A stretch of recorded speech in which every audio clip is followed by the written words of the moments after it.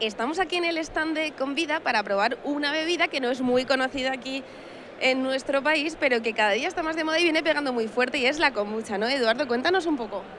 Bueno, pues eh, esta empresa viene de dos chicas de Fregenal de la Sierra, de Badajoz, que, conocieron este producto, la kombucha, en California. Allí está muy de moda como bebida social y, demás, entonces decidieron traerla a España para, empezar a, pues, a llenar España de, de, kombucha. Cuéntanos un poco qué es exactamente.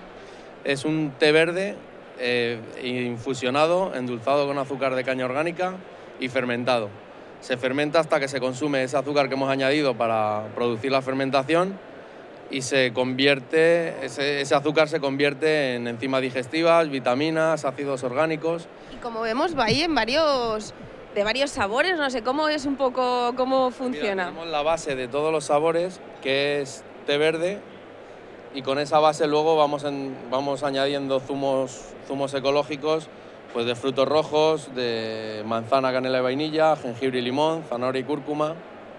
Volvemos a fermentar y, esos son nuestros, nuestros productos finales. ¿Y cuándo o cómo se consume la kombucha? Eh, ¿Para comer? Eh? La puedes consumir a primera hora de la mañana en ayunas como probiótico o a lo largo del día como revitalizante, que no energizante, ¿vale? por las vitaminas y ácidos que tiene o incluso después de las comidas como un digestivo natural buenísimo, gracias a las enzimas y a, la burbuja natural.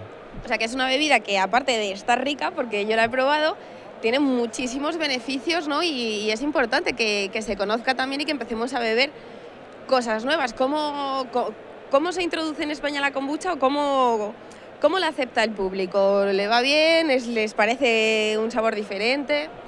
Pues eh, la primera sensación es un sabor diferente, pero muy rico.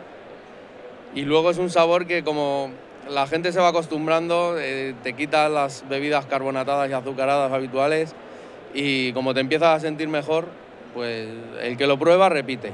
Porque esto sí que, bueno, tiene una especie de, de burbujitas, pero es por la fermentación, ¿no? No es gas añadido.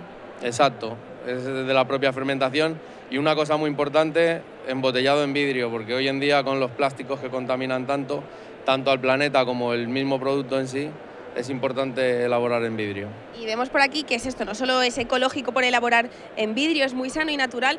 Vemos aquí en la botella, por ejemplo, si podéis ver que pone que es un producto orgánico, ecológico, eh, vegano, sin gluten, sin lactosa, sin pasteurizar. O sea, es, eh, Eduardo, un producto para todos. Eh, yo siempre digo lo mismo, dentro de las bebidas saludables es la bebida por excelencia, es saludable y para, apta para todos los públicos.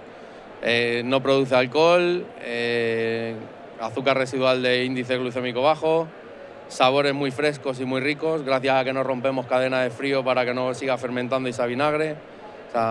¿Y cómo está siendo la experiencia de, de Convida aquí en esta feria? ¿Cómo os va? ¿Qué os aporta? Pues la verdad es que nos está yendo muy bien porque el año pasado, que vinimos por primera vez, eh, la gente no nos conocía. Este año ya vienen, hombre, estáis aquí otra vez, tal, ya vienen directamente a probar porque les gusta el producto. Y sí es verdad que hay un pequeño público que no nos conoce que nos está viniendo muy bien. Gracias a que estamos creciendo, eh, lo que nos hace falta ahora precisamente es que la gente nos pruebe para que compre en, en los puntos finales en los que hemos entrado ya.